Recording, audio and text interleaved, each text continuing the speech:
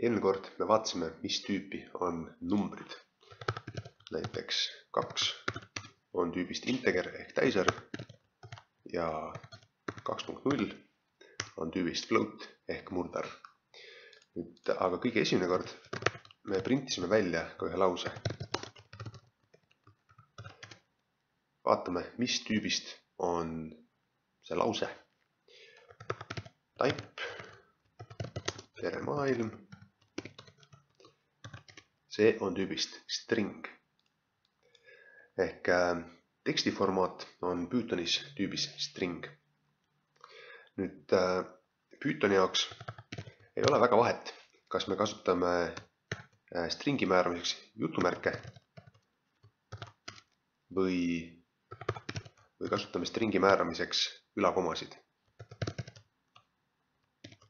et mõlemal puhul on tegemist stringiga, aga mida tasub tähele panna, on see, et kui sa alustad ühega, näiteks jutumärkidega ja tahad lõpetada teisega, näiteks ülakomaga, siis Python sellest aru ei saa, vaid äh, ta annab selle peale errori. nüüd äh, stringidega saab teha ka siukseid, noh, saab kasutada ka matemaatikasümboleid, näiteks string tere pluss äh, string maailm annab meil kokku stringi tere maailm või kui me võtame stringi tere ja korrutame seda kolmega, siis me saame kolmekordse tere ehk tere, tere, tere. nüüd ähm, stringi sisu ei pea olema ainult äh, noh, tähed, vaid äh, stringi sisu võivad olla ka näiteks kirjavahemärgid. ja lihtsalt nii esimene kui viimane peab olema jälle kas siis ülakoma või jutumärgid. ja kõik see on jällegi tüübist string.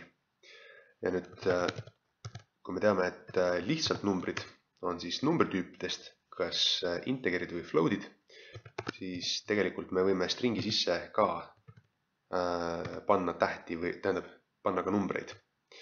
näiteks kaks ülakomade vahel on hoopiski stringi formaadis, mitte numbri formaadis.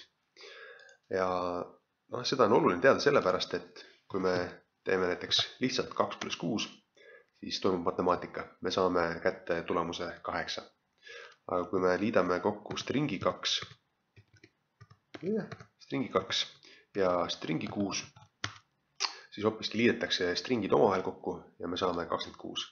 ehk siis sama, mis siin tere maailma puhul juhtus enne. nüüd äh, või kui me teeme stringi, kus sees on kaks pluss kuus siis tulemuseks ongi meil kaks pluss kuus. okei okay., nüüd ähm, eelmine kord me uurisime ka natuke tõeseid ja vääri asju. vaatame, mis äh, tüüpi andmetega on siin tegemist. et äh, tõene ja väär on mõlemad tüübist bool ehk boolean.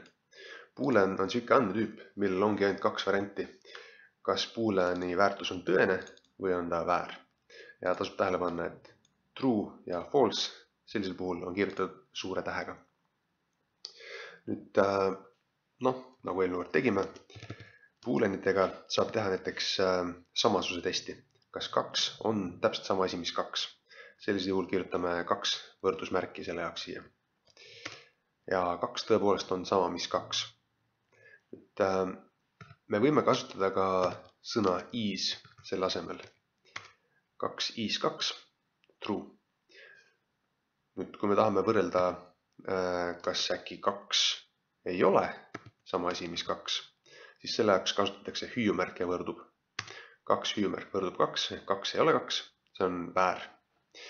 Äh, siin me saame ka sõnadega seda kirjutada, näiteks kaks is not kaks ja tulemus on false nüüd, et näidata, et see tõepoolest ikka annab meile õiged vastused, kontrollime, kas kaks ei ole mitte sama asi kui kolm.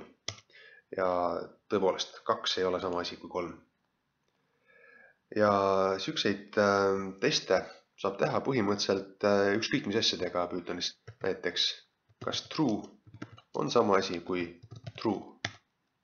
True on sama asi kui true või kas näiteks string tere on sama asi kui string tere. ja see on ka true.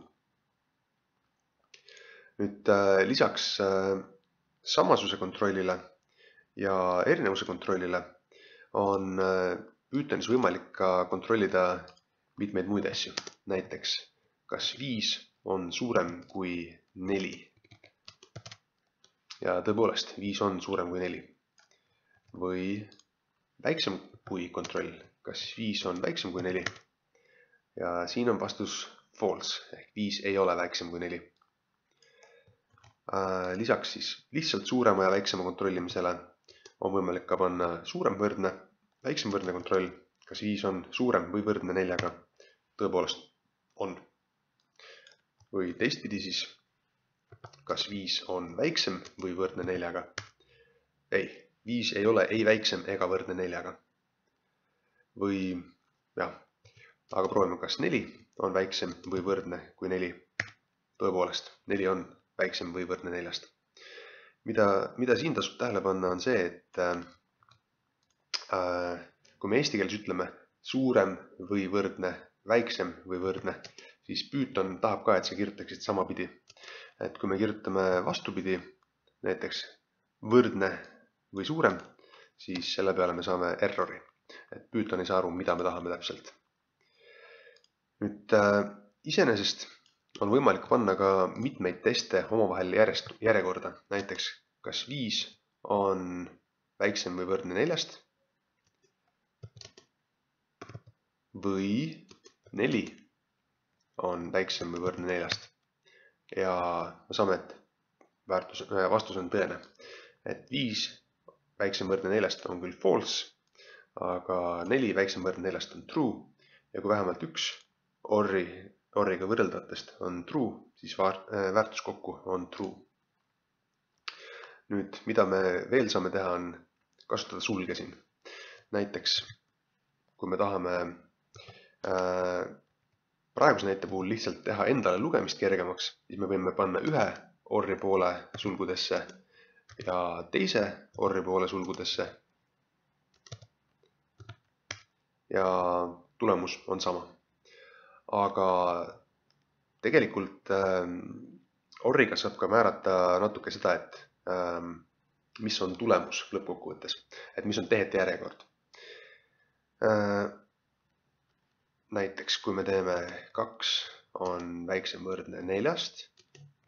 Or viis on väiksem võrdne neljast. Is kaks on väiksem võrdne neljast. selle väärtus on true. aga kui me võtame täpselt sama asja, aga paneme siia natuke sulge juurde, et sulgudes kaks on väiksem võrdne neljast or viis on väiksem võrdne neljast, sulud lõpevad, is kaks on väiksem võrdne neljast, saame, et false ehk siis sulud määravad tehete järjekorda ja võib juhtuda, et ka tulemust. nüüd järgmises videos tutvume natuke lähemalt stringidega ja vaatame, kuidas saab programmeerida erinevaid otsuseid